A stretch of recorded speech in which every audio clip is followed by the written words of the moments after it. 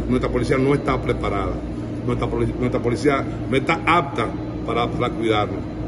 Ellos saben muy bien dónde están eh, los delincuentes, que vayan a, buscar, a enfrentar a los delincuentes, les temen a ellos. Entonces yo creo que eh, ya está bueno. Ya han sido muchas eh, vidas que hemos perdido.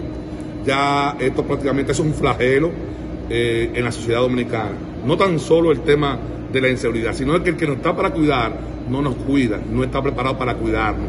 Ya es un flagelo, ya es un tema que eh, tiene que ir a otro, a otro nivel. Y obviamente yo considero que en términos eh, políticos ya está llegando el momento en que la ciudad dominicana se dé cuenta de que el cambio no, no ofreció realmente un plan de gobierno que resolviera el problema que nos, eh, nos embellecieron con un plan Giuliani que nunca se implementó, se implementó y quedan ya unos eh, meses para empezar eh, lo que es eh, el proceso electoral y evidentemente que eso será uno de los temas que vamos a debatir en términos electorales y sin lugar a dudas que las urnas la gente le va a cobrar a, a Luis Abinader y al PRM su ineptitud de no garantizar una seguridad ciudadana.